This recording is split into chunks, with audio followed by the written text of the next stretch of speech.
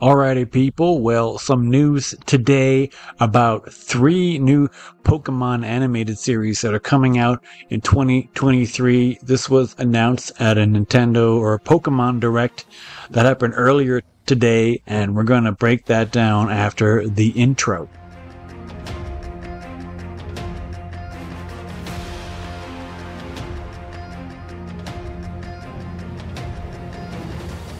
So don't forget to like and subscribe. And yes, today it was announced earlier that two new Pokemon were announced for 2023 and also another animated series, which takes a different style as you can see here in this picture.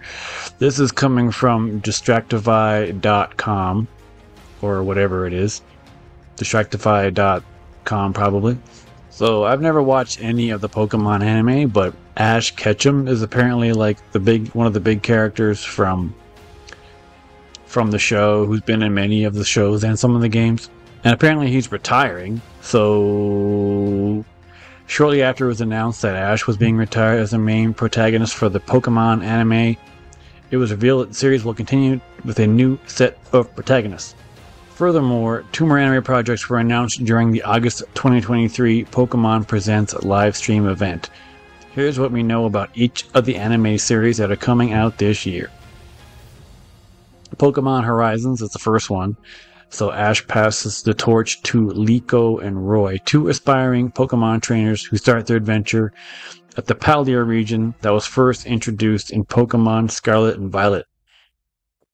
Two of them travel together with their Pokemon Sprigatito and Fuecoco. I don't know. That sounds like pasta to me. Sounds like an Italian dish.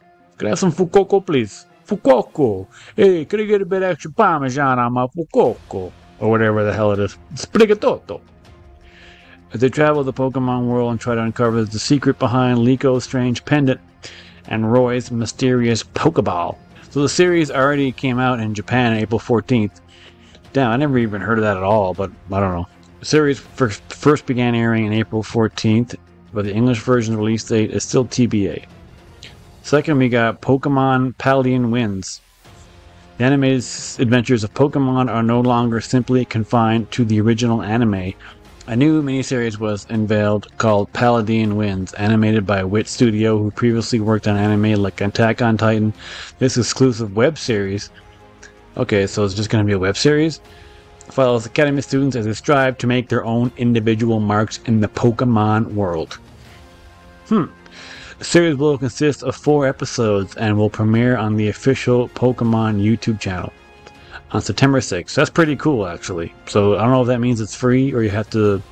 I don't know if po- if YouTube even has like the original things anymore because they used to, but then they got rid of it, I think.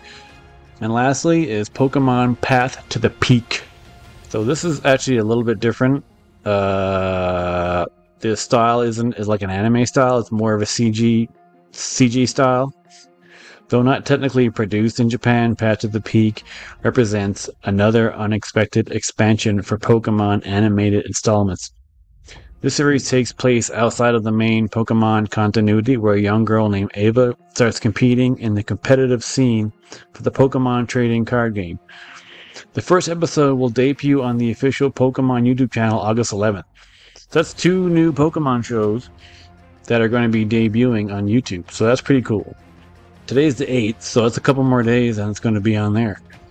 So here's a little look at this Path of the Peak show. It's definitely a way different style, more of uh, 3D, but not like super detailed 3D an- animation. I really don't know anything about Pokemon. I've never really played. I never played the games at all. I've never played a Pokemon game in my life, so I have no idea about the connection from the shows to the games or whatnot. But you know, I'm always just more excited that more and more animes are coming out. Even though there's already a lot of anime Pokemon anime on Netflix and other other stations. It probably it probably has of all the video game adaptations that are out there, Pokemon probably has the most from what I've seen. If I had to guess.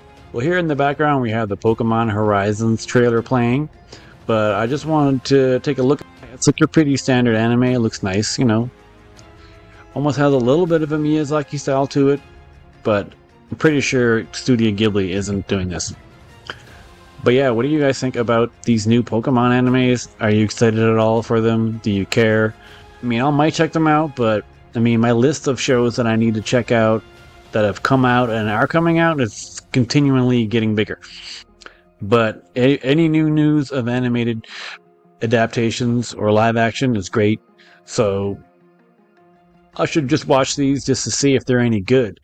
But it'll be hard to review when I don't know anything about the games really. But we'll see. These are coming out pretty soon. So the announcement just happened earlier today. And two of the three shows are coming out like soon. So that's that'll be interesting. So let me know what you think. If you're interested, let me know. If you don't care at all, let me know. Thanks for watching and don't forget to keep gaming.